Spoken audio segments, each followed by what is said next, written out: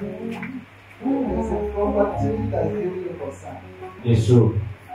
You long, many times, I discover your heart seriously.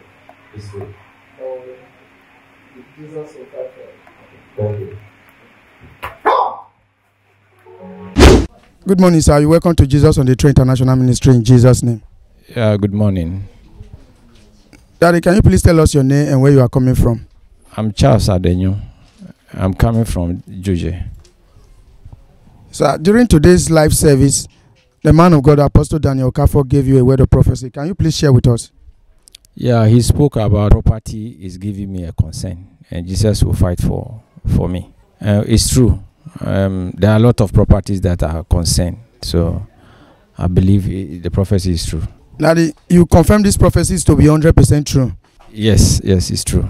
Can you please throw more light on it? I have a property my, myself. I bought a land at Dodowa where there are issues with the land, and also we have a family property at Togo that we want to dispose of, and there are challenges that we are having, and also my dad left a share that is still in in the name of our mother that we have not transferred, which is lying down there over the years now.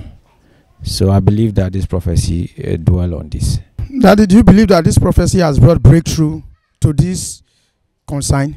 Yes, it has brought a, a deliverance to, to the properties for us. Okay, we thank God for this wonderful prophecy that you received today. Sir, what is your promise to God Almighty? Yes, uh, I, I will continue to serve the Lord as I've been doing, but I will do more. I will do more to serve Him for the rest of my life. Uh, thank you, Daddy, for these wonderful prophecies that you received today. We pray and we rejoice with you, and we want to encourage you that you should make God's word a standard for your life so that this breakthrough will remain permanent in your life in Jesus' name. Amen. Amen. Thank you, Jesus. Thank you, Jesus. Like and follow us on Facebook at Jesus on the Throne International Ministry. Subscribe to our YouTube channel at Jesus on the Throne International Ministry.